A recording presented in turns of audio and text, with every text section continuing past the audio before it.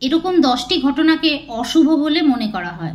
ভুল করেও অবহেলা করবেন না এই দশটি ঘটনাকে। এক, আয়না বা কাচের তৈরি জিনিস ভাঙা খুবই অশুভ বলে মনে করা হয়। ভাঙা আয়না কখনোই বাড়িতে রাখা উচিত নয়। ভাঙা আয়নায় কখনোই আপনার মুখ দেখবেন না। এছাড়াও, এক বছরের কম বয়সী শিশুদের জন্য আয়না দেখা অশুভ। দুই সকালে খালি বালতি দেখা খুবই অশুভ বলে মনে করা হয়। যে ব্যক্তি ভোরবেলা খালি বালতি দেখে, তার কাজে সব ধরনের বাধা আসতেই থাকে। তাই রাতে বালতিতে জল ভর্তি করে রাখুন। এটি ঋণ থেকে দ্রুত মুক্তি দেয়। এবং যদি আপনি বাথরুমের বালতিতে জল ভরে রাখেন, তবে জীবনে উন্নতির পথে কোনো বাধা থাকবে না। ঘরে সুখ শান্তি সমৃদ্ধি আসতে শুরু করবে। নাম্বার তিন। শাস্ত্রমতে লোহার তৈরি জিনিস বাড়িতে রাখলে অশুভ আত্মা বাড়িতে প্রবেশ করতে পারে না। তবে কখনোই মরিচা পড়া লোহার জিনিস বাড়িতে রাখা উচিত নয়। এটি কিন্তু দুর্ভাগ্য বহন করে। নাম্বার চার, বাড়ি থেকে কাজে যাওয়ার সময় হাঁচি হলে তা খুবই অশুভ বলে মনে করা হয়। ঘর থেকে বের হওয়ার সময় হাঁচি হলে ঘরের ভিতরে ফিরে গিয়ে একটু বসে জল পান করে আবার বের হতে হবে। নাম্বার পাঁচ দুধ উতলে পড়া খুবই শুভ বলে মনে করা হয়।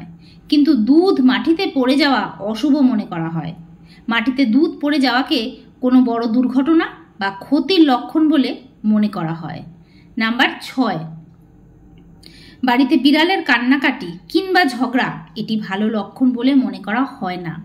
এটি বাড়িতে আসা অপ্রীতিকর লক্ষণ বলে মনে করা হয়ে থাকে। নাম্বার সাত, বাড়িতে মাকড়সার জাল থাকা এবং বাদুর বাড়িতে আশ্রয় নেওয়া, এটি অশুভ লক্ষণ হিসাবে বিবেচিত হয়।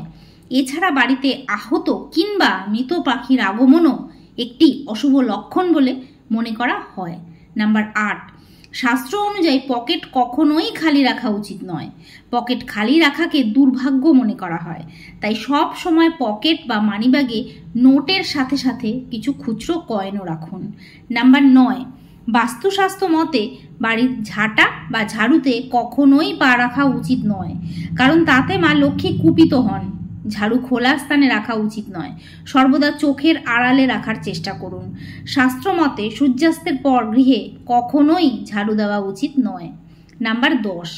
ঘরের খাওয়ার টেবিলে ছুরি কখনোই আড়াআড়ি রাখা উচিত নয়। এটিকে অশুভ বলে মনে করা হয়। এ কারণে বাড়ির সদস্যদের মধ্যে ঝগড়া, বিবাদ, কলহ বৃদ্ধি পায়। এছাড়া শাস্ত্রমতে টেবিল থেকে ছুরি পড়ে যাওয়া খুবই অশুভ বলে মনে করা